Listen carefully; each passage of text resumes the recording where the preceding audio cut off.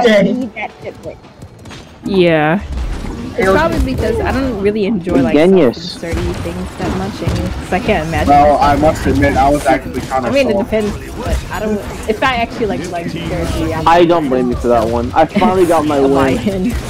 but like other than Well, this is my second one actually, but I fucking needed this, bro. I was in the trenches. I, I guess I'll put. Yaki has ants. Wait, you said I played smart? Damn straight, I Tone. put the Yaki on. I'm a A. Genji. Kept on fighting throughout. You stopped the more I like catch. the That's damn, damn right, Nick. You call a Celeste. silly ass nigga talking about it's Alright, risky but for me business. personally, I'll put her. Wait, what? He You said, oh, you said you landed on more chance times than anything else, but that's, Yeah, that's risky do. business. That nigga Loki called you shady.